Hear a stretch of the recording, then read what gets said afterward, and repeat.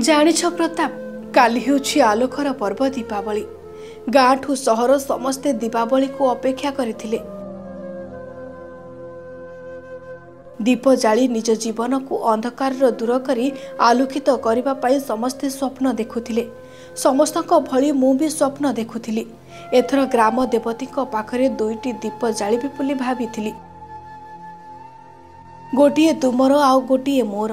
ହେଲେ ଦୀପାବଳି ଆସିବା ପୂର୍ବରୁ ମୋ ଜୀବନକୁ ଘୋଟି ଆସିଲା କିଟମିଟିଆ ଅନ୍ଧକାର। ଆଉ ମୋ ଜୀବନକୁ ସବୁଦିନ ପାଇଁ ସେ ଅନ୍ଧକାର ଘୋଟିଗଲା। ଦୀପାବଳିରେ ସମସ୍ତେ ଖୁସି ମନାଉଛନ୍ତି। ଦୀପାବଳି ପ୍ରସ୍ତୁତିରେ ସମସ୍ତେ ଲାଗି ପଡ଼ିଛନ୍ତି। ହେଲେ ଆମ ପରିବାର ତୁମକୁ ଝୁରି ହୋଇ ହୋଇ କାନ୍ଦି କାନ୍ଦି ଭାଙ୍ଗି ପଡ଼ିଛନ୍ତି। ଦୀପାବଳି ସମସ୍ତଙ୍କ ଜୀବନକୁ ଖୁସି ଆଣେ। ହେଲେ ଆମ ଜୀବନରେ ଭଗବାନ ଏମିତି ଏକ ଦୁଃଖ ଦେଲେ ଯେ ସବୁ ଖୁସି ଆମର ହଜିଗଲା।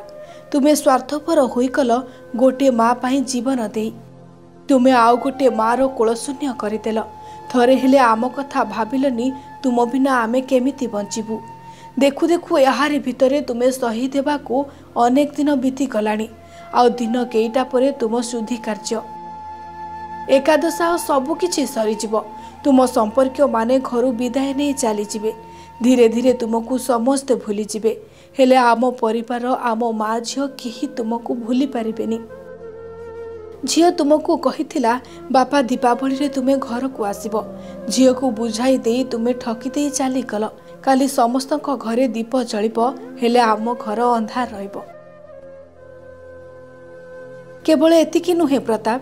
ତୁମେ ଚାଲିଯିବା ଦିନଠାରୁ ଆମ ଘର ଅନ୍ଧାର ହୋଇଯାଇଛି। ଜାଣିନି ଆମ ଘରକୁ ଆଉ କେବେ ଆଲୋକ ଫେରିବ କି ନାହିଁ।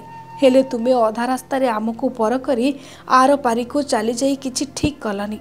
ଏମିତି କହି କାନ୍ଦୁଛନ୍ତି ପ୍ରତାପଙ୍କ ପତ୍ନୀ କାନ୍ଦି କାନ୍ଦି ଧୈର୍ଯ୍ୟହରା ହୋଇପଡ଼ୁଛନ୍ତି। ପୁରୀ ଜିଲ୍ଲା ଗୋବ୍ଲକ ବଡ଼ତରା ଗ୍ରାମର ବିଏସ୍ଏଫ୍ ଯବାନ ପ୍ରତାପ ରଞ୍ଜନ ପରିଡ଼ା ଶହୀଦ ହୋଇଯିବା ପରେ ପରିବାର ଲୋକଙ୍କ ଆଖିରୁ ଆଜି ବି ଶୁଖିନି ଲୁହ କାଲି ଦୀପାବଳି ଥିବାବେଳେ ପ୍ରତାପଙ୍କ ପତ୍ନୀ ମନେ ମନେ କିଛି ଏପରି କହି ଭୋ ଭୋ ହୋଇ କାନ୍ଦୁଛନ୍ତି। ବ୍ୟୁରୋ ରିପୋର୍ଟ ନିରପେକ୍ଷ।